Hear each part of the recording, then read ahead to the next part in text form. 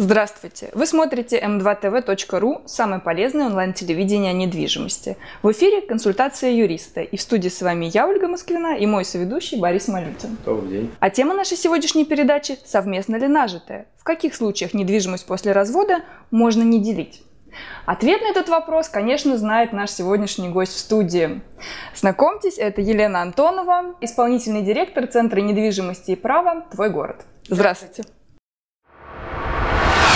Елена Антонова, исполнительный директор агентства недвижимости «Твой город», практикующий юрист по сделкам с недвижимостью. Окончила Московскую юридическую академию, юрист по образованию. Имеет опыт работы в банковской деятельности и адвокатуре. В недвижимости с 2003 года. Елена, давайте для начала определим, в каких случаях недвижимость в принципе не подлежит разделу между бывшими супругами. Вот совсем. Ни в суде, никак. Это имущество, которое получено по наследству, имущество, которое получено по дарению, и имущество, которое получено в порядке приватизации. То есть все вот этих а, три пункта, они не, под, не подлежат разделу. Это личное имущество гражданина. Вне зависимости от того, Вне до брака, во время брака? Вне зависимости. До брака все, что приобретено, тоже не подлежит делению и совместно нажитому, это не нажитое. Елен, вот сейчас у нас э, в стране набирает постепенно обороты практика заключения брачных договоров. Наверное, не очень еще да, распространено, но уже есть. На сегодняшний день это распространено уже достаточно как бы сильно, потому что э, раньше это касалось только э, состоятельных людей, на сегодняшний день к брачным договорам прибегают совершенно разные люди разных слоев населения. Вот, потому что это действительно достаточно удобный механизм э, имущества и регулирования какого-то имущества супругов. А насколько вообще большим весом обладает вот этот документ? Он, наверное, обладает таким же весом, как и любой договор. Да? Брачный договор обладает всеми теми характеристиками, э, которым обладает любой договор. То есть это наш с вами договор, а на котором мы договорились, что э, режим пользования нашего имущества будет вот таким, как мы с вами договорились, а не по закону, каким, каким образом. То есть получается, что, но э, он, этот договор обладает теми же так сказать, он страдает теми же ошибками и теми же моментами оспорения в суде, как и любой другой договор. То есть, если этот договор, например, заключен на заведомо невыгодных условиях для одной стороны, он э, может быть оспорен в суде. То есть, грубо говоря, если супруги заключили брак, подписали брачный договор о том, что одна из сторон вообще ни на что в случае развода не претендует, то такой договор, скорее всего, можно, да, оспорить? Нет, тут не совсем так. Тут, если супруги заключили такой договор, это наше волеизъявление с вами, да, то есть мы имеем на это право. Но часто бывает так, что э, супруг, ну, супруги, преступление в брак, заключают договор, что все, что нажито, а, является собственностью каждого. И один из и купленный на деньги одного из супругов это его личная собственность. Что получается в жизни? Что один супруг работает, другой не работает, но при этом другой супруг обеспечивает жизнедеятельность этой семьи. То есть он э, воспитывает детей совместных, да, каким-то образом там обеспечивает, э, определенные обязанности выполняет. И э, потом наступает момент, например, что мы расходимся, и у одного супруга все, а у другого ничего, потому что куплено было на деньги работающего супруга. Mm-hmm. Так вот такой вот момент можно оспорить. Оспорить в каком э, ключе? что э, даже при том, ну, при условии, то, что мы заключили вот этот договор, э, данный договор является для меня кабальным и, в общем-то, очень ухудшает в случае развода мое положение. Ухудшает просто до невозможности. То есть это нельзя... Тут нужно понимать, что это не просто, например, мне не досталась одна из тысячи квартир, mm а что человек остается просто без жилья, без э, средств к существованию и так далее. Но при этом в основном это касается женщины. Ну, мужчин тоже. Вот. Но конечно, это касается женщины. Но она при этом выполняла там, в течение 20 лет э, те супружеские обязанности и вообще обеспечила жизнедеятельность этой семьи. А, соответственно, суд в части может признать этот договор недействительным и присудить все-таки э, данной супруге половину или там одну четвертую часть, например, жилья или там право пожизненного проживания. А насколько вообще часто принимаются решения в судах вот именно в пользу супруги? В Дело случае? в том, что не всегда часто э, делаются такие брачные договоры. Потому что я вам сейчас рассказала пример общего брачного договора, и когда вот все, что нажито, все мое. Вернее, не нажито, а вот все, что куплено на мои деньги, это все мое. На самом деле в природе, ну, в нашей стране, э, встречаются такие более усеченные брачные договоры, это такие, как вот касаемого определенного имущества. Да? То есть ведь очень часто бывает как? Э, продается квартира родителей, родители вкладывают эти деньги, а мы это приобретаем уже как совместно нажитое. Несправедливо, правда? Правда. И вот, соответственно, родители иногда, иногда, ну, там, сами супруги, они говорят, давай так, что все-таки вот каждому что вложено. А вот э, тот пример, который я привела, это ну, как бы человек, вот он живет, пользуется э, услугами другого человека, но при этом все, что он заработал, мое. Так, так, так не бывает. Это неправильно, это оспоримо, и это в суде признается то, что человек там выполнял определенные обязанности, воспитывал общих совместных детей, э, как бы тратились на них какие-то деньги, и, собственно говоря, он что-то заработал за эту жизнь. Елен, а если речь у нас идет все-таки там не о сотнях квартир, не о всем нажитом имуществе, uh-huh. а об одном конкретном объекте недвижимости, uh-huh. и этот объект, допустим, был приобретен в долевую собственность, там, uh-huh. например, чтобы вычет оба супруга получили, uh-huh. да, и вот они разводятся, как вообще делится такая квартира? Ну, по идее, конечно, правильно говорить о том, что вот мы уже поделили. На самом деле это такой спор вот, э, в юридическом сообществе, это, ну, это вообще такая коллизия, потому что э, на мой взгляд, ну и не только на мой взгляд, э, мы это имущество разделили еще в момент брака, да, то есть по одной второй доле. Угу. Мы разошлись, у нас у каждого свое свидетельство, и мы вправе делать со своей долей все, что угодно, у тебя есть только преимущественное право выкупа. Это не относится к браку, да.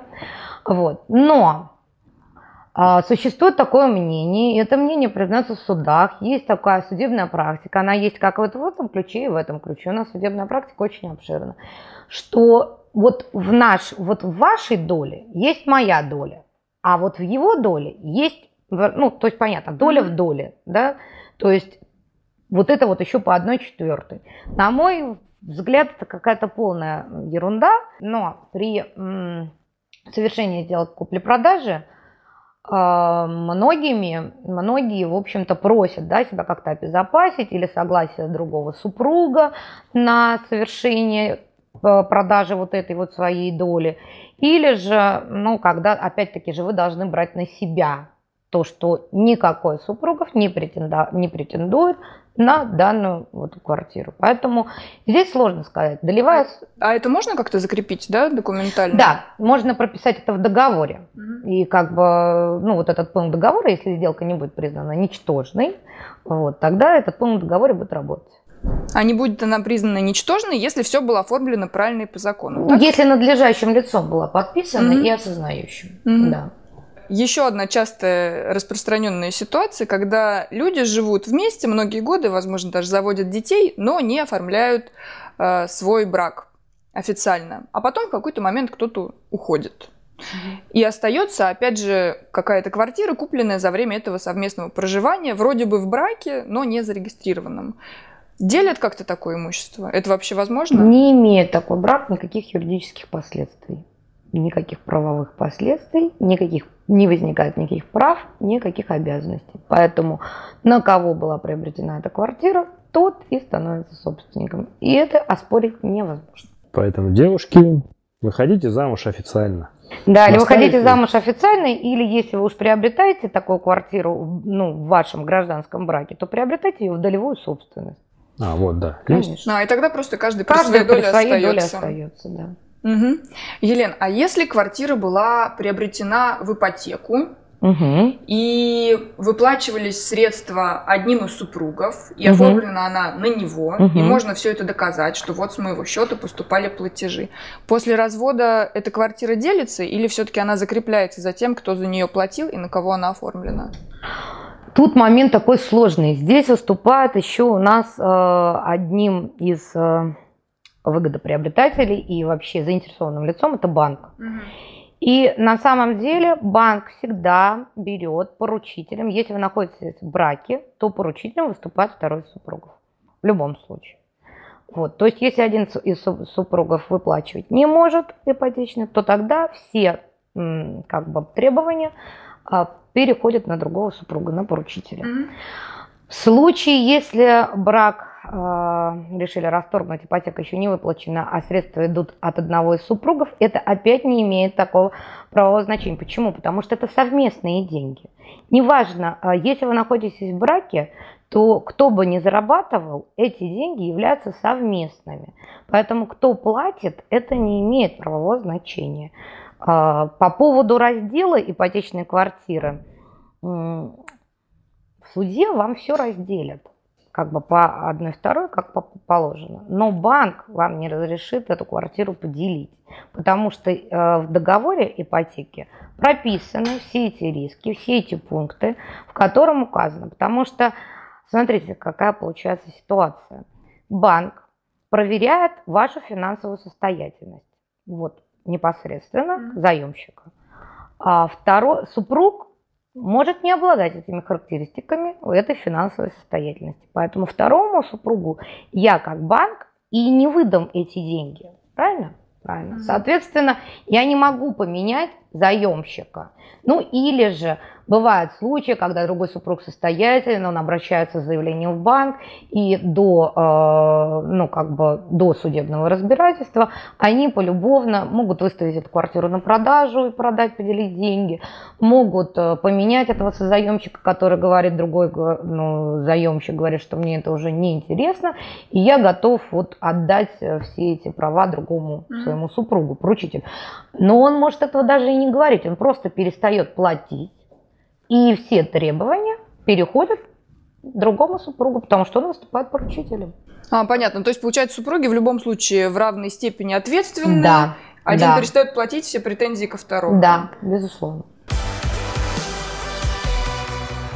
Часто же бывает, что люди разводятся на совсем такой плохой волне, в отвратительных отношениях, не желают друг с другом общаться, ни о чем договариваться. И, например, вот имущество как-то поделено, кому-то за кем-то оно там закреплено в каких-то долях, а второй берет и меняет, например, замок на квартире. И что делать? Ну, если он меняет замок, а вы являетесь, например, со- собственником или просто зарегистрированным в этой квартире, то вы обращаетесь к участковому и скрываете эту квартиру, ну, как бы посредством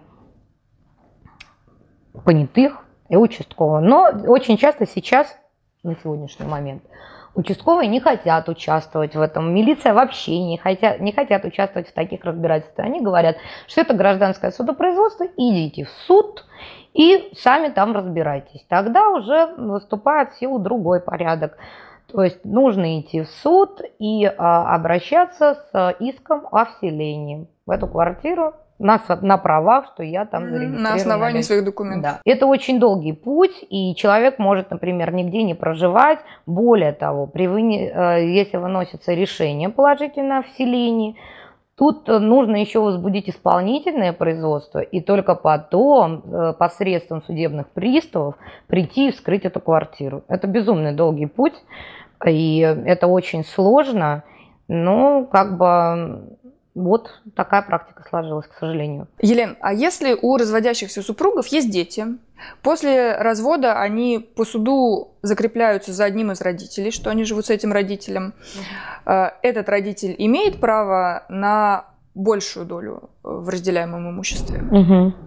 Да, имеет право. А Какая именно эта доля э, законом не закреплено, но он имеет право просить большую долю в связи с тем, что их совместный ребенок проживает на территории ну, как бы, вернее, вот э, в спорной вот этой вот квартире.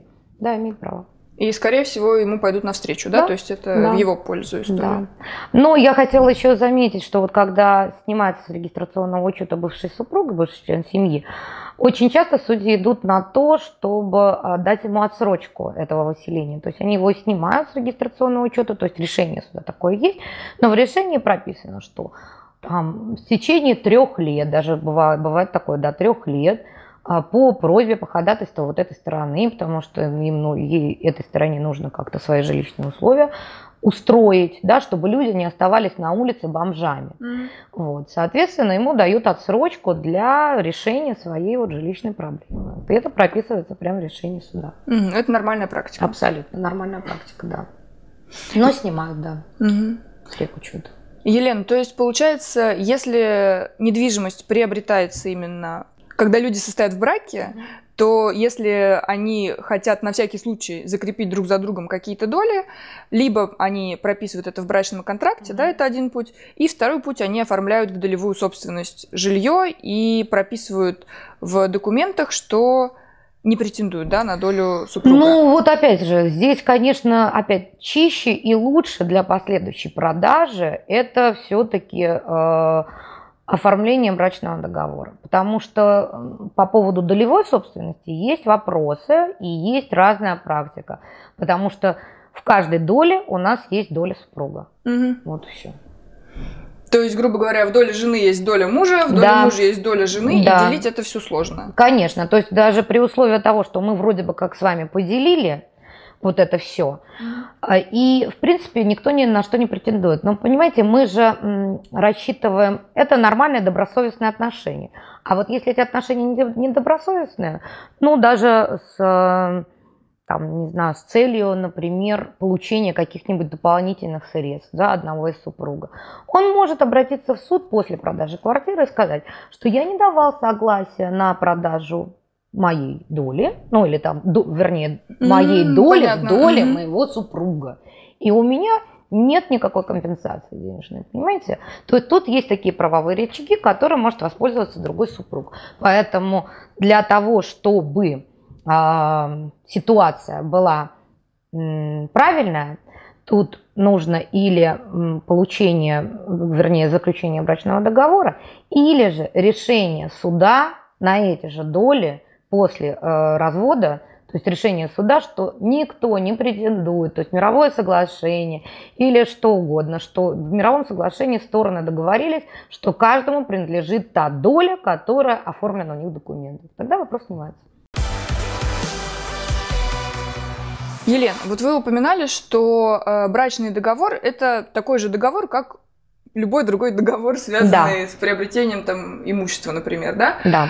А Значит ли это, что, например, при разводе один из супругов, недовольный условиями брачного договора, вполне может заявить, что он находился в состоянии там алкогольного опьянения, наркотического, не отдавал себе отчет в своих действиях, вообще там плохо себя чувствовал, и э, Да. этот брачный договор недействителен. Да, не совсем так, конечно, но безусловно, любой из супругов, хотя это действие обязательно нотариальное, поэтому состояние алкогольного опьянения и наркотического исключается у нас, да, в связи с тем, что человек должен пойти обязательно к нотариусу.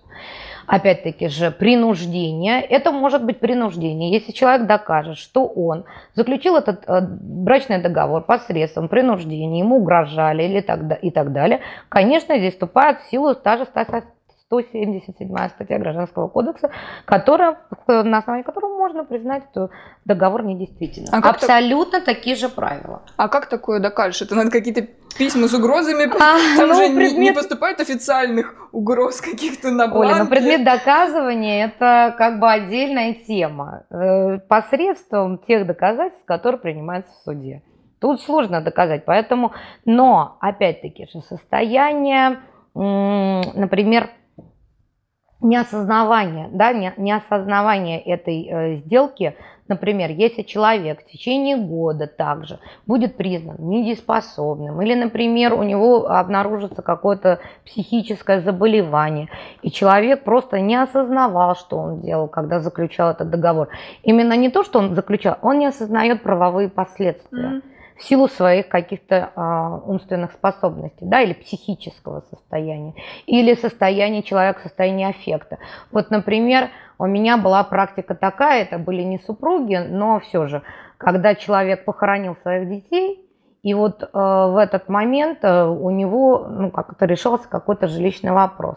После этого он смог оспорить это в суде, потому что человек был в состоянии неспособным осознать. Он не псих, он нормальный, но он был в таком психологическом подавленном состоянии, что он не мог осознавать правовые последствия заключения данной сделки. Угу.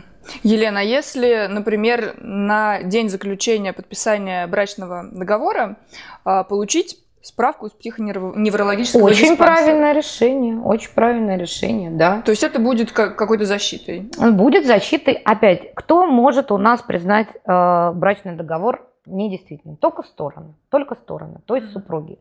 Э, соответственно, для того, чтобы когда он начинает там, вступать в силу, и вот э, человек решил оспорить, то он должен уже а, ну, предоставить, предоставить все эти вот доказательства. То есть вот, вот представьте себе, мы с вами приобретаем, вернее, я приобретаю на деньги родителя супруг, ой, квартиру. Mm-hmm. И говорю своему супругу, что ты не против, а, чтобы мы вот по поводу этого имущества оформили брачный договор. Он говорит, нет, не против. Вот. А потом он мне, ну, я-то знаю, что он на учете не состоит. Понимаете, ну вот как я буду, вот практика, я пойду и предостану, возьму эту справку, я же знаю, что он на учете не стоит, что я живу не сумасшедшим человеком, что у меня как бы все нормально. Тут вот такой нюанс, мы же не у чужих людей, вот в любых других договорах купли-продажи, купли-продажи, там, ну любая другая сделка, мы а, подстраховываемся только потому, что мы не знаем другого человека. И это нормально. Это нормально. А здесь мы супруги, и идем заключать эту сделку ну, как бы, вернее, этот договор. Ну, Елена, если мы уже идем заключать этот договор, значит, мы, в принципе, допускаем возможность того, что нам понадобится документальное какое-то подтверждение наших прав, что, мы, что есть возможность того, что мы по-хорошему ну, в какой-то момент уже не сможем договориться. Ну, я тут, например, и не согласен тоже... с тобой, потому что это может быть по настоянию родителей. Вот как э, Лена привела пример, что вот покупаются на деньги родителей, а сами знаете, теща свекрови это такая отдельная история. Они могут сказать, знаешь, как бы... Тебе я готов отдать, а вот ей отдать, нет. А ей нет, вот не нравится она мне. Mm-hmm. Поэтому, пожалуйста, вот на это имущество заключи договор. И все. А это уже твоя проблема, что должен у супруги сказать, слушай, сходи в психушку, подтверди, что ты нормальная. Да, тут еще речь идет о том, вот, знаете, о нашей правовой, наверное, грамотности. Понимаете, вот за рубежом, например, это же совершенно нормальное дело, да, то есть люди расписываются идут сразу заключать брачный договор. У нас включается наш менталитет, так же, как и с завещанием. То же самое абсолютно. У нас заключается наш менталитет, что мы уже друг друга подозреваем, мы уже друг другу не доверяем. На самом деле это совсем не так. Мы просто оформляем документы и э, просто регулируем другими совершенно режимом наше совместное имущество. И никто не в обиде друг, друг на друга абсолютно. Я надеюсь, что после этого видео многие супруги будут показывать, э, цитировать вашу фразу, показывать, вот смотри, специалист сказал, что это не является причиной для обиды, это нормальная практика. А если это бизнес? А если приобретается, например, квартира на физических лиц, не принадлежащие этим супругам вообще никак, тогда как быть? Понимаете? То есть тут... Э, Имеется в виду, например, на родственников?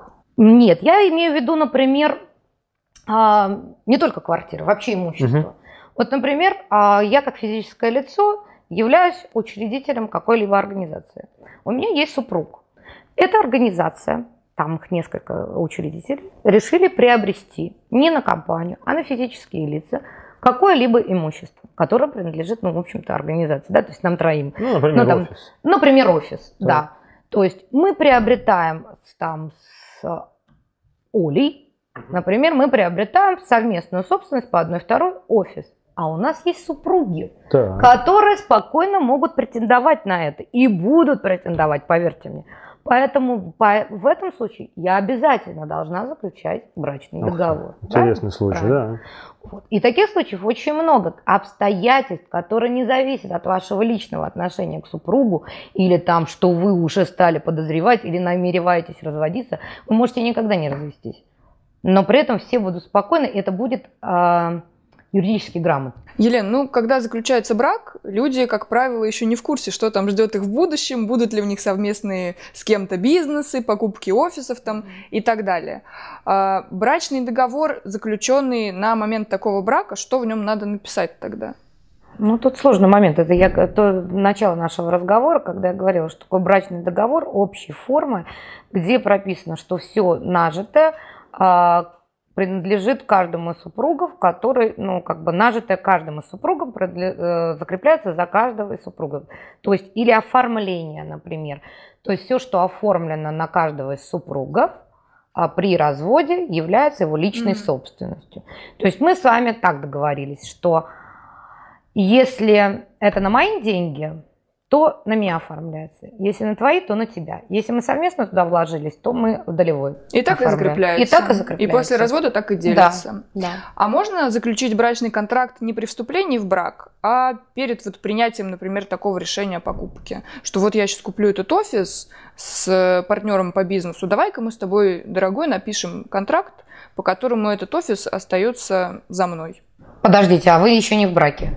Уже в браке, но еще не подписывали никаких То есть это контрактов. брачный договор а, о ну, да, по конкретной поняла. сделке? По конкретной сделке, ну, конечно. Конечно, то есть мы То уже... есть в любой момент брака можно? В любой момент, абсолютно в любой момент. Ну просто это... мы вскользь это да. упомянули, но на самом деле это многим может быть не очевидно, что брачный договор это не обязательно брачный договор, это не обязательно договор, заключенный там в день свадьбы. В день свадьбы, да. Что это может быть некий договор, связанный с имуществом, касающихся как раз в любой э, период супругов. ваших брачных отношений. А может быть несколько этих договоров? Да. И все эти договора имеют одинаковую юридическую силу. Неважно, что один был раньше, другой позже, ничто не аннулируется там по дате. Да, да, безусловно. И при этом там могут, например, в разных договорах э, указаны разные доли. То есть здесь мы не сто процентов. Да и как угодно, 20, как договоритесь. Как угодно. А Я говорю, просто тут действуют определенные правила. Нельзя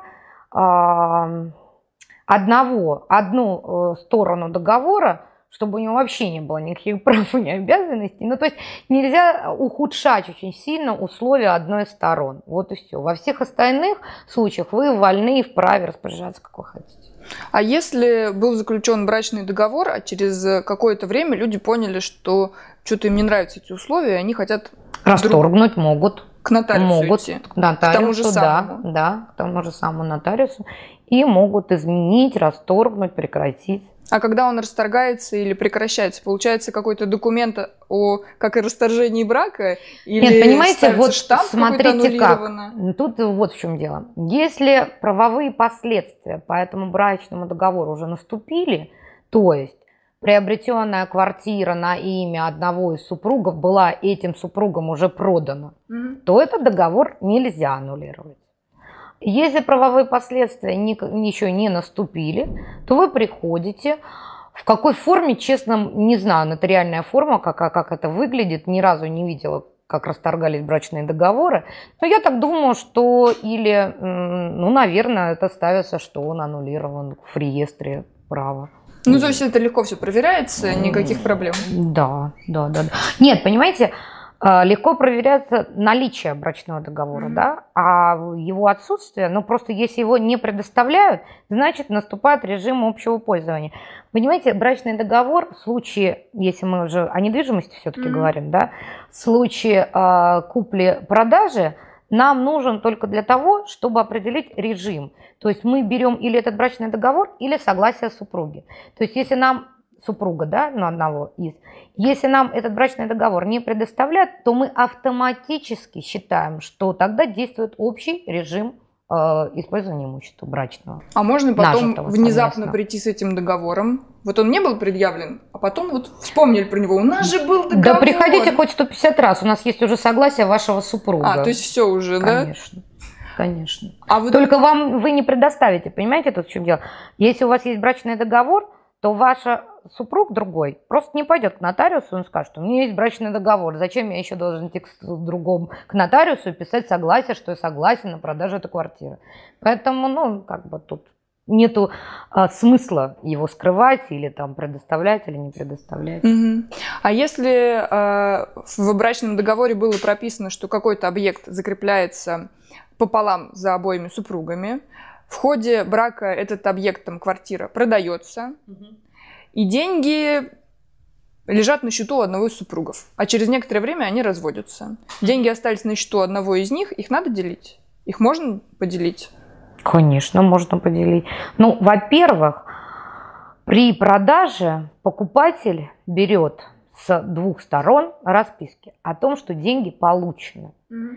А уж как там ими распорядились супруги, если один из супругов, несмотря на то, что деньги лежали на счету у одного из супругов, написал расписку о том, что он эти деньги получил, скорее всего, он не сможет их получить в натуре. Подводя итог нашей сегодняшней передачи, надо, наверное, порекомендовать нашим зрителям не бояться заключать брачный контракт, не стесняться, относиться к этому как к документу, который просто регулирует их отношения имущественные, и не думать о разводе в этот момент.